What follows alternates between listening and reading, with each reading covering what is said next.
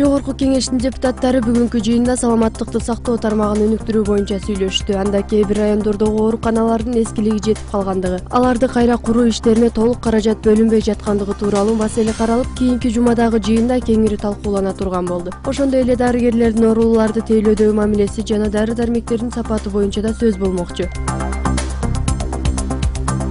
он үчүнөн он бешинчи майга чейин каржы министрлигинин ысык көл жана нарын облустарынан токсон алты кызматкер аттестациядан өттү. Бул тууралуу аталган министрликтин маалымат кызматынан билдиришти. Алардын айтуусунда эки аймактын кызматкерлеринен беш киши жогорку орунга сунушталды. Ал эми сексен үч кызматкер өз ордуларына татыктуу деп каралып сегиз жумушчу алты айдан кийин кайра аттестациядан өткөрүлмөй болду